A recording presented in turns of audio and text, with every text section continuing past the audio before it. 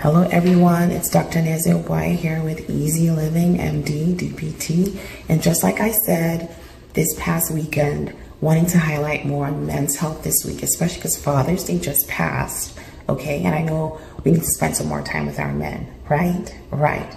And so wanted to highlight three big things, simple things, but big mistakes and things that people are overlooking and neglecting when it comes to men's health that has a big impact not just overall health, heart health, but also the big thing with men, testosterone levels and libido. Because usually they kind of wait till they're getting to that level before they come see me if it's not something major elsewhere.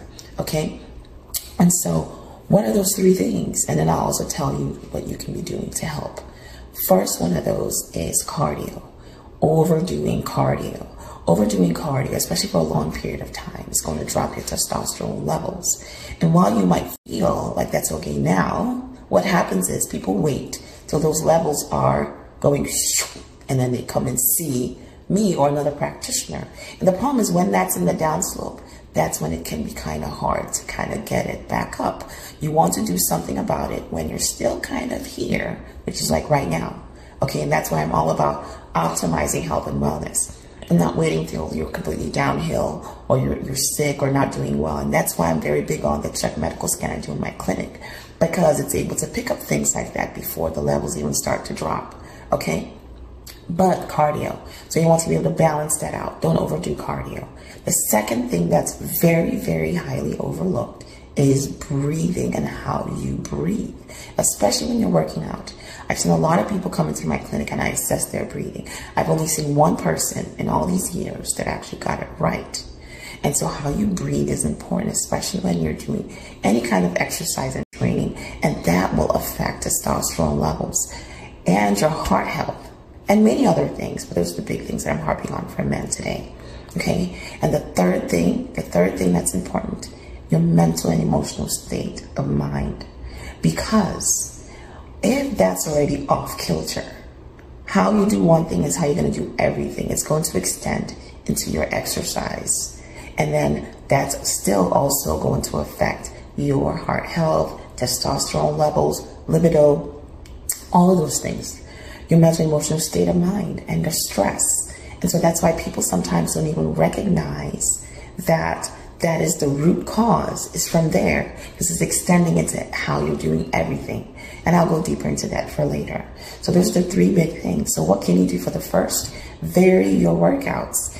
How much cardio are you going to do? Depends on you and your state of health currently. And so there's all these recommendations out there you know but the truth is it has to be specific for you. And that's why sometimes some of these things don't work for everybody.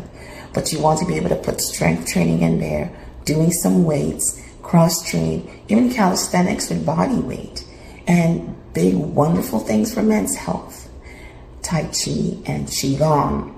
Tai Chi and Qigong, those are really good because they also help with the breathing, which regulates everything. Okay, so that's one. But also even strength training and muscle mass, that's important because now they call muscle like a whole different, it's an organ because it helps with insulin resistance and weight loss, weight management, and all that belly fat here. Again, okay. But again, that muscle building has a lot to do with your breathing. So that's the second part, the breathing, Tai Chi Qigong, how you breathe when you're exercising, how you breathe after workouts with your recovery, with your stretching. That's important. It's important. It's not just 15 or 10 minutes. Some people are so good at it, which I am these days within five to 10 minutes, I can switch it so that I'm balancing my nervous system. My relaxed part gets balanced with the stress part. That's the goal. And for some people, it might take 15, 20, 30 minutes. So that's why the recommendations sometimes are off for people. And again, like the third important part, mental and emotional state of mind and health. That men need to recognize. Men need to recognize. Men need to recognize how this affects everything. Because a lot of times you're running away from addressing those issues. And we can see that in the reflection of men's health and what's affecting them in society. I'll talk a little bit more about the top three things that's really affecting men and especially black men um, with their health and wellness. Okay? So have a wonderful and a blessed day. One love. Ashe.